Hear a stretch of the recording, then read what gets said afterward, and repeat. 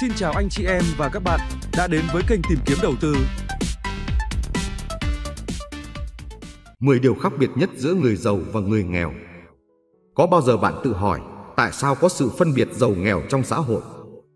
Điểm khác biệt lớn nhất giữa người giàu và người nghèo là do những lối tư duy ăn mòn trong tiềm thức của mỗi người. Hầu hết điểm xuất phát của đứa trẻ giàu hay nghèo là do cha mẹ. Nền tảng gia đình sẽ quyết định nền tảng tư duy. Vật chất giàu có bên ngoài chỉ là bề nổi. Tảng băng chìm tạo nên thành tựu là do học thức, tư duy của mỗi người. Cuộc đời con người sự khác biệt lớn nhất là nhận thức. Nếu may mắn vươn lên từ nghèo khó cũng phải chật vật kiếm sống, nỗ lực đến chầy chật để vươn lên. May mắn thay sự giàu có là một điều có thể học được, mọi thành công đều để lại dấu vết. Chúng ta đang sống trong thời đại mà trí tuệ kiến thức được chia đều cho tất cả mọi người, không có rào cản giàu hay nghèo. Điều khác biệt là bạn có quyết tâm nắm bắt học hỏi nó, biến kiến thức đó thành tài sản của chính mình. Cộng với sự hành động mạnh mẽ, quyết đoán không ngừng nghỉ trong khoảng thời gian nhất định, tôi tin chắc rằng bạn sẽ trở nên giàu có, là trụ cột vững chắc cho bản thân, cho gia đình mình. Hãy tin rằng mọi thứ đều có thể học được, làm được với một ý chí sắt đá. Kênh tìm kiếm đầu tư xin gửi đến các bạn những tư duy khác biệt hàng đầu của một người giàu sẽ khác một người nghèo như thế nào. Một, Người giàu nghĩ dài, người nghèo nghĩ ngắn. Bạn sẽ nhận thấy những người thành công là người có khả năng suy nghĩ dài hạn. Jeff Bezos, người sáng lập và chủ tịch tập đoàn thương mại điện tử Amazon, tỷ phú giàu nhất nhì thế giới từng chia sẻ. Nếu bạn tưởng tượng bản thân mình lúc tuổi 80 và suy nghĩ, lúc đó mình đang nghĩ gì, bạn sẽ thoát khỏi những lo lắng vụn vặt thường ngày. Suy nghĩ ngắn hạn sẽ làm bạn cảm thấy hoang hoang, nhưng nếu nghĩ dài hạn, bạn có thể đưa ra quyết định tốt nhất cho cuộc đời bạn mà không hối hận. Suy nghĩ về năm, 10 hoặc 20 năm tới là một trong những phương pháp tốt để đưa ra các quyết định thay đổi cuộc đời. Nghĩ về kế hoạch 5 năm, 10 năm sắp tới, chia nhỏ thành các mục tiêu hàng tháng, hàng ngày sẽ giúp chúng ta từng bước hiện thực hóa ước mơ. Đừng quên cuộc hành trình ngàn dặm nào cũng phải bắt đầu bằng một bước đi nhỏ bé đầu tiên. Tránh bốc đồng, đưa ra quyết định nhất thời mà chưa suy nghĩ kỹ lưỡng, cũng đừng vì lợi ích trước mắt và quên đi lợi ích lâu dài. Hãy đưa ra quyết định để 10 năm hay 20 năm sau bạn nhất định sẽ không hối hận. 2. Người giàu bàn về ý tưởng, người nghèo buôn chuyện tào lao. Nếu dành vài phút để lắng nghe bạn nói chuyện, tôi có thể biết được bạn là con người như thế nào. Lời nói vẽ lên bức tranh về cả cuộc đời bạn. Kết Cameron Smith Bạn dành thời gian để bàn về điều gì? Những điều bạn nói giống như bánh lái cho con thuyền. Chúng quyết định bạn sẽ đi theo hướng nào. Người giàu dành hầu hết thời gian nói về các ý tưởng và hiếm khi bàn tán về sự việc hoặc mọi người xung quanh. Trong khi đó, người nghèo thường không nói về các ý tưởng mà dành phần lớn thời gian để buôn chuyện tào lao. 3. Người giàu cấp tiến, người nghèo thủ cự. Sự thay đổi có thể mang ý nghĩa tích cực hoặc tiêu cực. Tuy nhiên, chúng ta không biết thay đổi sẽ ảnh hưởng tích cực hay tiêu cực đến cuộc sống của chúng ta. Nhưng người nghèo lại luôn cho rằng thay đổi hầu hết là tiêu cực, trong khi người giàu cho rằng mọi sự thay đổi, cả tốt lẫn xấu, đều đem lại giá trị cho họ. Nido Qubein nói, đối với những người hay e sợ, sự thay đổi thật là kinh khủng. Với những người bình thường, sự thay đổi là đe dọa, nhưng với những người thực sự tự tin, thay đổi là cơ hội. 4. Người giàu dám mạo hiểm, người nghèo an phận thủ thường. Người nghèo bị mắc kẹt trong vòng luẩn quẩn của người làm thuê bởi họ không dám mạo hiểm. Cách duy nhất để thoát khỏi cái vòng luẩn quẩn đó là dám mạo hiểm. Bạn dám mạo hiểm trong cuộc sống nghĩa là bạn đang nắm bắt cơ hội. Mạo hiểm không có nghĩa là lần mò trong bóng tối. Người giàu mạo hiểm một cách có tính toán, nghĩa là hãy học hỏi tri thức trước và cân nhắc những hậu quả của thất bại trước khi hành động. Hãy sử dụng tri thức để vượt qua nỗi sợ hãi. Người giàu không sợ mạo hiểm. 5. Người giàu nỗ lực vì lợi nhuận, người nghèo làm việc vì lương. Bạn thấy đấy, khi làm việc vì lương, chúng chỉ có thể tăng dần theo thời gian và năm kinh nghiệm của bạn. Còn khi làm việc vì lợi nhuận, bạn có cơ hội tăng thu nhập của mình một cách nhảy vọt và trong thời gian rất ngắn. Đến nay là khoảng 10 năm tôi không còn làm việc vì đồng lương nữa và chưa bao giờ có ý định sẽ quay lại làm việc để nhận lương. Nếu muốn thành triệu phú, bạn cần học cách làm việc vì lợi nhuận. 6. Người giàu rộng tay, người nghèo đong đếm. Không phải người giàu nào cũng rộng rãi về tiền bạc, nhưng những người hạnh phúc đều hào phóng. Hầu hết người giàu đều tin vào luật gieo và gặt. Họ coi đồng tiền là hạt giống và rằng nếu hào phóng, họ sẽ nhận lại tiền bạc. Người giàu không chỉ cho nhiều mà còn nhận lại rất nhiều. Họ có niềm tin rất khác biệt về việc nhận so với người nghèo. Họ tin rằng mình xứng đáng được nhận vì họ hào phóng. Theo kinh nghiệm của tôi, những người nghèo không được nhận nhiều. Tôi tin đó là vì họ không cảm thấy mình xứng đáng. Làm sao họ có thể xứng đáng nếu họ không hào phóng? 7. Người giàu có nhiều nguồn thu nhập, người nghèo chỉ có một. Hãy so sánh đô la với cá. Một người câu cá sẽ câu được nhiều cá hơn nếu có hai dây câu chứ. Tất nhiên rồi, khả năng rất lớn là anh ta sẽ câu được nhiều hơn. Vậy nếu anh ta có tới 5 giây câu thì sao? Dễ thấy là càng có nhiều dây câu dưới nước, anh ta càng có khả năng bắt được nhiều cá. Tiền bạc cũng vậy, càng phát triển nhiều nguồn thu nhập khác nhau, bạn càng có nhiều cơ hội giàu hơn. Với mỗi người giàu giàu hơn bằng một nguồn thu nhất định, thì sẽ có hàng chục người khác trở nên độc lập về tài chính nhờ kết hợp nhiều nguồn thu nhập khác nhau. 8. Người giàu nỗ lực tăng lợi nhuận, người nghèo cậm cụi cố tăng lương. Mọi người chắc đều đã nghe câu Hãy làm việc thông minh hơn thay vì làm việc chăm chỉ hơn. Tập trung vào lợi nhuận là làm việc thông minh, làm việc vì đồng lương là làm việc chăm chỉ. Người giàu được tự do về tài chính là bởi họ làm việc chăm chỉ trong thời gian đầu để có được lợi nhuận. Một khi đạt được lợi nhuận đến một mức độ nào đó, họ được tự do làm những gì mình thích, bất cứ khi nào họ muốn. Người nghèo bị kẹt trong cái vòng luẩn quẩn của người làm thuê. Cái vòng đó là thức dậy, đi làm, thanh toán các hóa đơn, thức dậy, đi làm, thanh toán các hóa đơn, thức dậy, đi làm, thanh toán các hóa đơn. 9. Người giàu tư duy tích cực người nghèo sống bi quan. Người nghèo sống bi quan về tư duy, nghĩa là bạn sẽ không có câu trả lời cho một vấn đề nào đó mà bạn thắc mắc khi mà bạn không hỏi và thường là bạn sẽ cho qua. Trên thực tế, học sinh, sinh viên Việt Nam ít hỏi và không dám hỏi thầy cô của mình. Không phải các bạn đều sợ đặt câu hỏi, mà hầu hết các bạn không có thói quen tư duy, đặt câu hỏi cho những người có kinh nghiệm trả lời. Người giàu tạo cho mình thói quen tư duy tích cực bằng cách đặt câu hỏi. Chính vì thế mà cuộc sống của họ luôn mang ý nghĩa và điều đó giúp họ thành công trong cuộc sống. Hãy học cách đặt câu hỏi tích cực, đặt những câu hỏi vượt ngoài tầm hiểu biết và kinh nghiệm của mình. 10. Người giàu học cả đời, người nghèo học nửa đoạn. Quan điểm Người giàu là cậu học trò tích cực trong cuộc đời chứ không chỉ trên phương diện tiền bạc của K.C. Smith, cũng giống như lời Hồ Chí Minh từng nói, học hỏi là một việc phải tiếp tục suốt đời. Ngoài những kiến thức phổ thông bạn còn phải học thêm những điều mà trường học không dạy bạn, bởi trường đời ác liệt và tàn khốc hơn trường học rất nhiều. Chính vì quá khốc liệt nên nó sẽ dạy cho bạn rất nhiều kinh nghiệm và bài học nhớ đời. Để cho bạn không phải sống với sự áp lực và cạnh tranh đó, bạn cần phải bắt đầu học và làm những gì mà bạn yêu thích những gì tạo được cảm hứng cho bạn. Có thế bạn mới có động lực, những ý tưởng mới tuôn trào. Ngoài ra, bạn cũng cần phải biết ưu tiên học cách làm hài lòng bản thân, học cách quan tâm đến gia đình và sức khỏe của bản thân.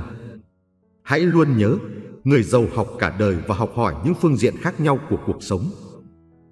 Sự khác biệt giữa giàu và nghèo không chỉ nằm ở vật chất, tiền bạc, mà còn là tầm nhìn và tư duy cho tương lai. Đây chính là nhân tố mà gia đình, và môi trường xung quanh tác động mạnh mẽ nhất tới thành công của một người. Tháng trước, một blogger nổi tiếng trên mạng hiện đang sống ở Nhật Bản đã tải lên một video dài. Trong đó, cô đã đến Arabujuban, khu vực giàu có của Nhật Bản và Sumachi, một khu ổ chuột nghèo khó hơn cũng của quốc gia này, để so sánh khoảng cách giàu nghèo đang tồn tại. Đầu tiên, tại Arabujuban, nhà cửa đặc biệt sang trọng chủ yếu là những căn hộ riêng biệt hoặc biệt thự đắt tiền, tập trung nhiều người nước ngoài sinh sống. Các bà mẹ có thể nhàn nhã dùng xe đẩy để đưa con đi khắp mọi nơi trong khu vực. Đây là nơi tập trung rất nhiều tổ chức, các đại sứ quán của nhiều quốc gia phát triển, cũng như sở hữu thư viện lớn nhất Nhật Bản. Hầu hết các trường học ở đây là các trường quốc tế với học phí đáng sợ. Hoạt động giải trí khi rảnh rỗi của giới thượng lưu sống trong khu vực thường là đi đánh tennis hoặc chơi bóng đá. Sau đó, cô lại đến khu ổ chuột Sumachi và cảm nhận cảnh quan nơi này có phần u ám hơn hẳn. Có rất ít trẻ em hay thiếu niên ra đường, thứ xuất hiện nhiều nhất trên phố lại chính là người già và rác thải. Những căn nhà trợ cấp do chính phủ dựng lên có mặt ở khắp mọi nơi. Những phòng này thường không có phòng tắm riêng, mà chỉ có một địa điểm công cộng có thu phí nằm ở tầng 1. Tại đây, hoạt động giải trí thường xuyên nhất của mọi người thường là ăn nhậu, chơi bời, hoặc thậm chí là tụ tập đánh bạc, chơi mạt trược lén lút. Người làm bố làm mẹ rất ít quan tâm tới việc nuôi dạy con cái. Do đó, tố chất của những đứa trẻ sống ở đây không cao. Có những cậu thiếu niên lang thang ở ven đường thậm chí còn cợt nhà, buông lời khiếm nhã với nữ blogger. Sau lần trải nghiệm này, cô ấy đã nhận ra sự khác biệt rất lớn và đưa ra nhận xét rằng muốn bồi dưỡng được một nhân tài, yếu tố gia đình thực sự đóng vai trò quan trọng. Những người sinh ra và trưởng thành trong môi trường không tốt thường khó có thể đạt được tầm nhìn và tư duy rộng lớn như những người ở trong môi trường có đủ điều kiện đàng hoàng. Nhà văn cách thập tam của Trung Quốc từng viết về cuộc sống khi còn ở Thượng Hải. Có lần, một người bạn đã kể với bà rằng Bây giờ tôi mắng con cũng không nỡ mắng, đánh con cũng không dám đánh luôn. Vì sao lại như vậy? Vì con trai của người bạn đó mỗi sáng đều được uống sữa nhập khẩu, mỗi tối lại ăn cá tuyết đại dương, mỗi ngày học gia sư với giáo viên nước ngoài, lại học thêm đàn piano. Mỗi chi phí bỏ ra đều là một con số không hề nhỏ với gia đình trung lưu như họ. Vào các kỳ nghỉ, họ còn phải cho con tham gia trại hè quốc tế để được tiếp xúc với những đứa trẻ ưu tú khác. Vậy nên, cứ mỗi câu mắng chửi của họ lại trở thành một sự phủ nhận về khoản đầu tư khổng lồ đã bỏ ra cho giáo dục.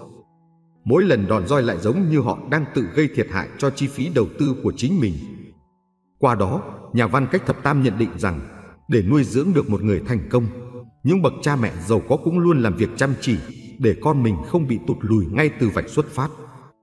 Một khảo sát từng được đưa ra để nghiên cứu về tình trạng giáo dục của cha mẹ dành cho con cái của mình trong khu vực một quận giàu có ở Bắc Kinh.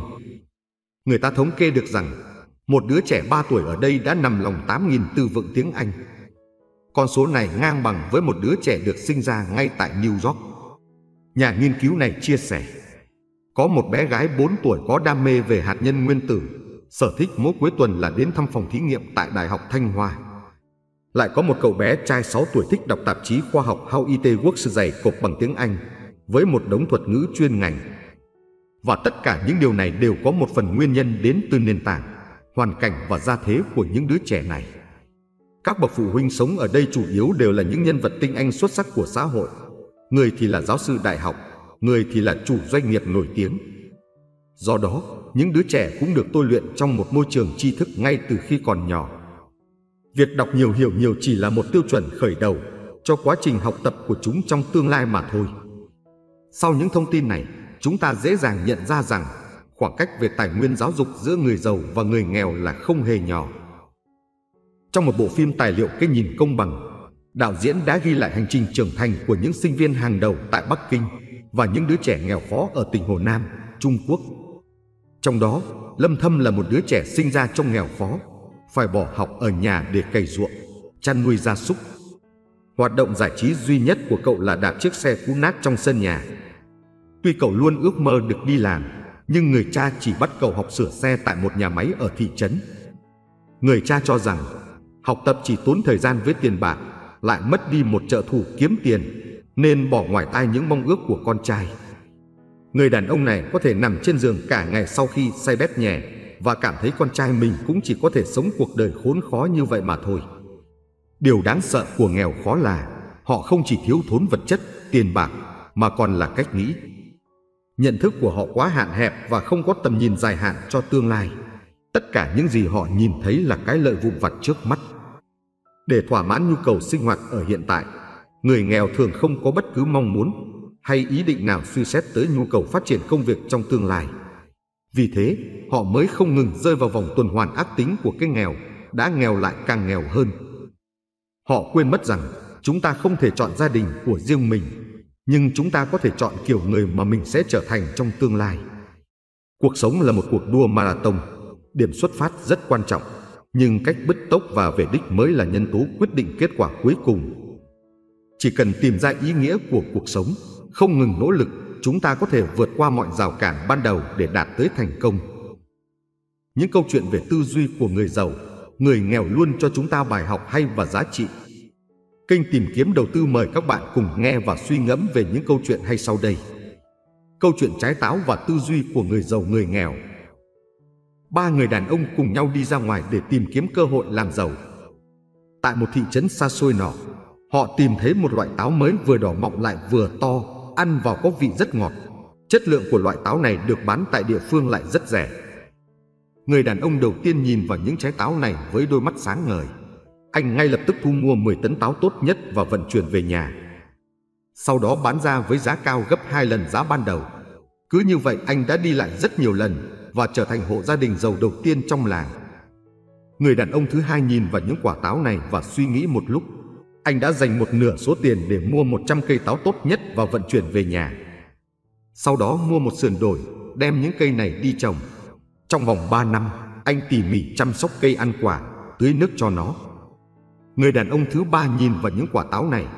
Thậm chí anh đi bộ một vài ngày quanh vườn nhìn hết đông rồi lại sang Tây. Cuối cùng, anh đã tìm thấy chủ sở hữu của vườn cây ăn quả này. Sau đó dùng tay chỉ vào gốc cây nói rằng Tôi muốn mua chỗ đất này. Ông chủ vườn cây kinh ngạc một lúc rồi lắc đầu nói Không được, đất không thể bán. Bán đi rồi thì làm sao trồng cây được nữa. Lúc này người đàn ông cúi xuống đất nắm một ít đất trên tay và nói Tôi chỉ cần chỗ khu vực đất này. Xin ông hãy bán cho tôi. Ông cần bao nhiêu tiền cũng được. Chủ đất nhìn anh và cười. Được rồi, anh đưa cho tôi một đồng rồi mang đất đi. Người đàn ông đã đem số đất này về quê nhà. Sau đó mời các chuyên gia đến kiểm tra Phân tích các thành phần khác nhau của đất Độ ẩm. Đồng thời mô phỏng nhiệt độ không khí địa phương tương tự Độ ẩm và ánh sáng. Sau đó anh mua một sườn đồi cằn cỗi dùng 3 năm cải tạo và bồi dưỡng cho đất ở đây có cùng tính chất giống hệt với đất mang về. Cuối cùng, anh mới trồng lên giống cây táo kia. 10 năm sau, số phận của ba người hoàn toàn khác nhau.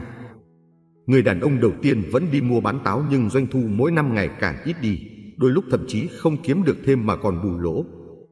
Người đàn ông thứ hai sau khi mua về những cây táo đã sớm sở hữu một mảnh vườn táo riêng.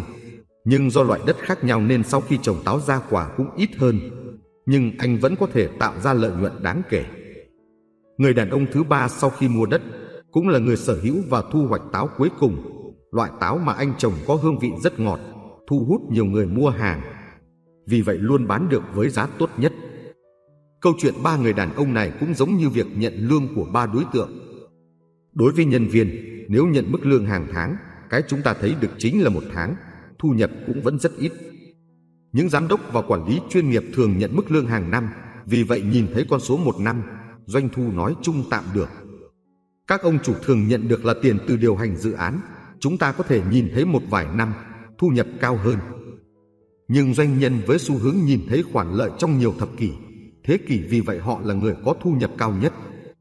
Do đó, có thể nói phạm vi của tầm nhìn quyết định đến sự thành công bao xa của một người. Trong cuộc sống, chúng ta khó tránh khỏi thất bại nếu có thể đứng lên từ thất bại, kiên trì theo đuổi mục tiêu, tương lai chắc chắn sẽ thành công. Nhưng kiên trì nói thì dễ thực hiện lại rất khó. Có một người rất nghèo và khổ cực, một người nhà giàu nhìn thấy đáng thương liền muốn giúp đỡ. Người giàu có đưa cho anh ta một con bò, chúc anh khai hoang tốt, đợi mùa xuân đến gieo hạt giống, mùa thu là có thể thoát nghèo rồi. Người nghèo cảm thấy hy vọng trong lòng, bắt đầu phấn đấu, nhưng chỉ sau vài ngày, bò muốn ăn cỏ, người muốn ăn cơm, cuộc sống trở nên khó khăn hơn trước. Người nghèo bèn nghĩ, thà rằng bán bò đi, mua mấy con dê. Trước tiên giết một con để ăn, còn lại để nuôi cho nó sinh con, đợi nó lớn lên rồi cầm đi bán, như thế kiếm được nhiều tiền hơn.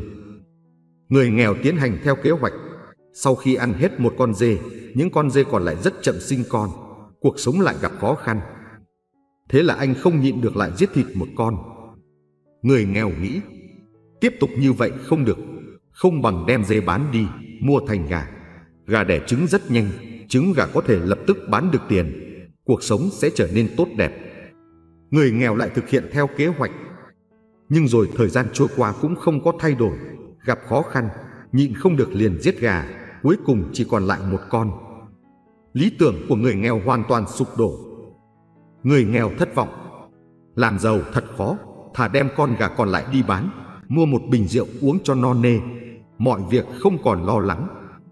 Mùa xuân đến rất nhanh, Người giàu có hào hứng mang hạt giống cho người nghèo, nhưng nhìn thấy người nghèo đang uống rượu với dưa muối, bò cũng không còn, trong nhà vẫn nghèo rất mồng tơi như trước đây. Người giàu quay đi, người nghèo vẫn cứ tiếp tục. Rất nhiều người nghèo đã từng mơ ước, thậm chí có cơ hội và hành động nhưng họ không kiên trì đến cùng. Một nhà đầu tư nói bí quyết thành công của mình là lúc không có tiền, cho dù khó khăn cũng nên tiết kiệm và đầu tư. Áp lực sẽ khiến bạn tìm được phương pháp kiếm tiền mới, giúp bạn trả hết nợ. Đó là một thói quen tốt. Tính cách hình thành thói quen, thói quen quyết định thành công. Người càng sâu sắc càng trầm tĩnh đơn giản. Người càng nông cạn lạnh nhạt càng táo bạo bất an. Kẻ mạnh không phải là không có nước mắt mà là kìm nén nước mắt không rơi. Kẻ yếu không phải ở vẻ bề ngoài mà là ở tinh thần suy sụp. Hôm nay, những nỗ lực dường như bình thường của bạn đều là tích lũy cho tương lai. Mỗi một lần kinh nghiệm, một lần không vui, bị từ chối đều đặt nền móng cho thành công sau này. Không phải chờ đến lúc già, không chạy nổi nữa mới hối hận. Bằng cấp không có nghĩa là có năng lực, văn bằng không có nghĩa là có văn hóa, quá khứ huy hoàng chỉ là lịch sử để nhớ lại. Vì vậy, ngày hôm qua như thế nào không quan trọng, quan trọng là hôm nay ra sao, ngày mai sẽ thế nào. Trong cuộc sống chúng ta có thể gặp nhiều khó khăn, gian khổ nhưng chỉ cần cố gắng, kiên trì vượt qua thì nhất định sẽ có một tương lai tốt đẹp. Kênh tìm kiếm đầu tư chúc bạn thành công. Xin cảm ơn anh chị em và các bạn đã nghe hết video. Để có thêm góc nhìn về phát triển bản thân, phát triển kinh doanh, phát triển đầu tư, anh chị em và các bạn hãy xem lại những video của kênh tìm kiếm đầu tư đã chia sẻ trước đây. Nếu video này có ích với anh chị em và các bạn, xin hãy comment bên dưới và chia sẻ video này cho nhiều người được biết với nhé. Xin đừng quên like và đăng ký kênh để được cập nhật những video mới nhanh nhất về đầu tư, về tài chính và phát triển bản thân. Xin chào và hẹn gặp lại anh chị em và các bạn.